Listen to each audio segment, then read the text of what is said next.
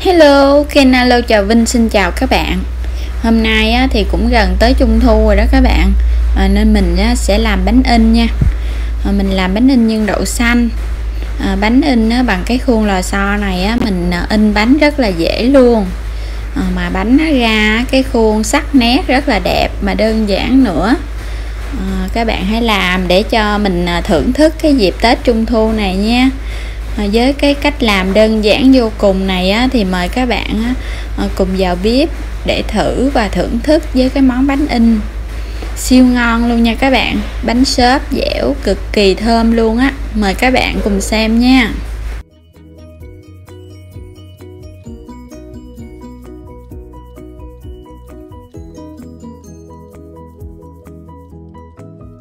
Đây là cái phần đậu xanh này 100g mình đã ngâm khoảng 3 tiếng rồi đó các bạn, để cho đậu xanh nó mềm á.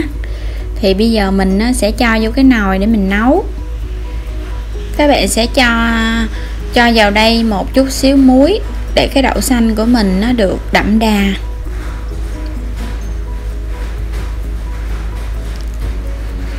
Rồi, bây giờ các bạn sẽ cho nước vào đây. Mình sẽ cho nước vào ngập cái mặt đậu hoặc là các bạn có thể lường khoảng 600ml hoặc là ngập một lóng tay đều được hết. Rồi mình sẽ cho lên bếp mình nấu. À, các bạn cho lửa lớn để mình nấu cho nó sôi. Khi đậu đã sôi rồi các bạn hớt bọt bớt. Rồi mình nó sẽ đậy nắp lại. Các bạn đậy nắp thì mình kê cái chiếc đũa bếp vô á để cho nó đừng có bị trào bọt. Rồi mình sẽ nấu đây cho nó mềm. Đây khi đậu của mình đã cạn nước rồi các bạn sẽ đậy nắp lại. Mình sẽ để đây thêm 5 phút nữa. Với lửa thiệt là nhỏ nha các bạn. Để cho đậu của mình nó nó mềm. À, các bạn lưu ý mình nấu đậu với lửa nhỏ nha.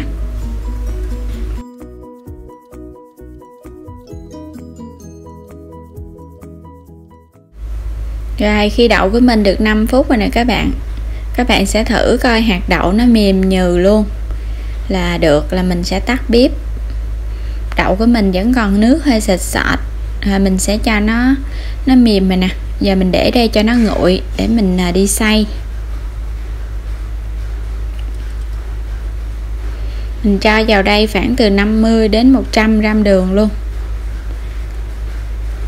Rồi khi xay nhuyễn rồi các bạn cho nó vô cái chảo.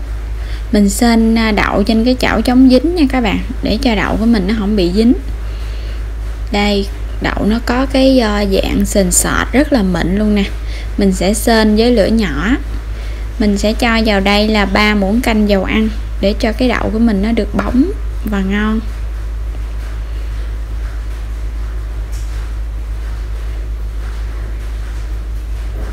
Đây khi sên một lúc thì đậu nó sẽ sọt lại như vậy nè các bạn.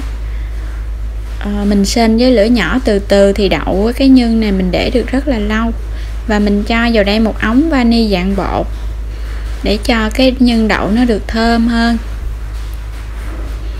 Các bạn cứ tiếp tục mình sên đây à, mình sên nó có ờ, sền sệt lại nè. Bây giờ mình sẽ cho vào đây là bột nếp bột nếp chín á khoảng 20g bột nếp dẻo nha các bạn. Rồi bây giờ mình sẽ đảo đều trộn cho cái đậu nó đều. Mình trộn chút xíu. Khoảng vài phút là đậu nó sẽ dẻo lại và cái bột nếp nó thấm đều vô đậu luôn. Đây là bột bánh in nè hoặc là bột nếp chín. Đây cái nhân của mình nó, nó đã dẻo và tạo thành một khói mịn này nè. Đây lúc này á, thì cái nhân đã được rồi nha các bạn. À, mình kiểm tra nè cái nhân không còn chảy nước ra nữa nó đã đứng im như vậy là được rồi. Thời gian này mình xin nhân khoảng 40 phút. Rồi bây giờ các bạn tắt bếp mình để đây cho nó nguội bớt chút xíu. Đây là đường. Đường này mình chuẩn bị là 200 gram các bạn xay cho nhuyễn. Rồi mình cho vào đây một ống vani cho nó thơm cái nước đường. À, đường này thì mình xay nó nhuyễn các bạn. Các bạn có thể dùng đường bột là mình cho vào đây là 150ml nước. Các bạn cho từ từ vô. À, mình khuấy đều. Có thể giảm lượng nước lại khoảng à, 120 ml thôi hoặc là 120 g rồi khi đường nó đã tan hết rồi mình thấy nó có cái dạng sền sệt. Như vậy là được rồi à, cái phần đậu này thì mình sẽ cân và mình chia ra mỗi một viên là 50g mình chia đều ra mỗi viên đậu nhân là 50g còn bột thì à, 100g bột. Đây mình chia ra xong rồi các bạn sẽ dắt cho nó tròn tròn lại rồi mình để nó qua một bên. À, mình dùng cái khuôn là 150g á nên mình dùng tỷ lệ là một nhân và hai bột. Và các bạn nó đậy lại để bỏ cái nhân nó không có bị khô. Đây là cái bột nếp nè các bạn bột nếp dẻo hay là bột nếp rang chín đó hay là bột bánh in đều là được là nó luôn á. Các bạn dùng loại nào cũng được. Rồi đây á, là mình à, mình dùng đây là 400 gram á, là một gói 400 cái bột này nó nhuyễn mịn rất là thơm luôn á. Mình sẽ dùng cái à, cối sinh tố mình cho bột vô từ từ để mình xay. Dùng cái cối sinh tố nó nó lớn á, thì mình trộn bột nó dễ đều hơn là cái cối xay thịt. Và các bạn xay mình cho nước đường vô từ từ nha. À, mình chia bột ra nhiều lần để mình xay nó mới trộn đều à, trong lúc xay thì các bạn cứ cho nước đường vô một lần nửa muỗng nửa muỗng vậy nè rồi mình cứ xay liên tục. Mình vừa cho nước đường mình vừa xay như vậy á, thì cái bột của mình nó mới đều.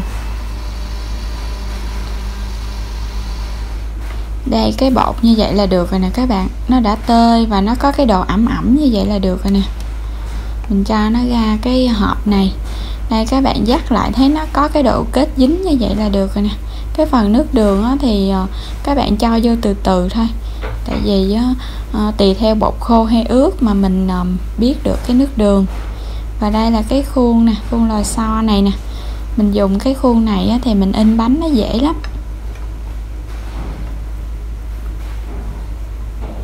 À, các bạn cho vào đây là 50g bột trước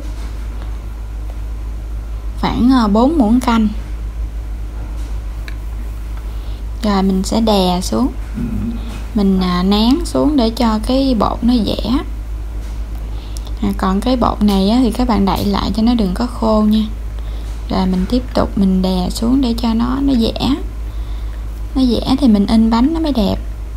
Rồi tiếp tục thì mình sẽ cho lên đây một lớp cái nhân nè. Cái nhân thì mình cũng ấn ấn xuống để cho nó đều ra. Để một chút cái nhân nó lòi ra bên ngoài đẹp hơn. Rồi ở dưới 50g thì trên cũng vẫn 50g 4 muỗng canh. Các bạn chia đều á, thì mình làm á, nó nó đều cái lớp nó đẹp hơn.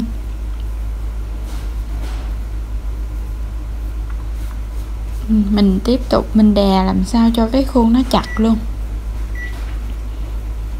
rồi lúc này các bạn sẽ để xuống nè. Là mình đè xuống và mình giữ ở đây vài giây. Rồi mình sẽ dỡ bánh lên. Mình giữ vài giây để cho cái khuôn nó định hình á. Wow đẹp lắm luôn nè các bạn. Cái hình bông sen. Cái bánh của mình rất là sắc nét luôn. À, cái lớp cũng đều nhau nữa. Đẹp lắm luôn. Đây. À, mình đã làm được uh, phần nhân và phần bột là 8 cái nha các bạn. Wow cái bông. Rất là đẹp và đơn giản luôn.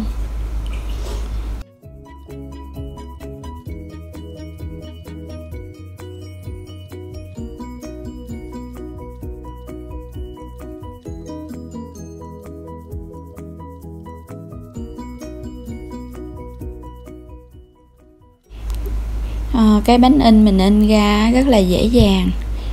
À, có đủ các cái um, hoa văn nè cái hình đồng tiền rồi cái bông sen có hình con rồng nữa. Rất là dễ nha các bạn. À, mùa trung thu này á, thì các bạn hãy thử với cái món bánh in bột nếp này nha nhưng đậu xanh dẻo xốp ăn rất là ngon luôn. À, đặc biệt à, mình ăn cái bánh này á nó dẻo dẻo á, thì nó nó ngon hơn. Đây rất là ngon nhìn nha các bạn. Đây cái bông sen nè. Các bạn hãy làm thử và thưởng thức nha. À, đón trung thu với cái bánh in mình tự làm tại nhà. Mình ăn á, sẽ ngon hơn. À, mình chúc các bạn làm thật là thành công và ăn ngon miệng. Bây giờ mình sẽ chẻ cái này ra.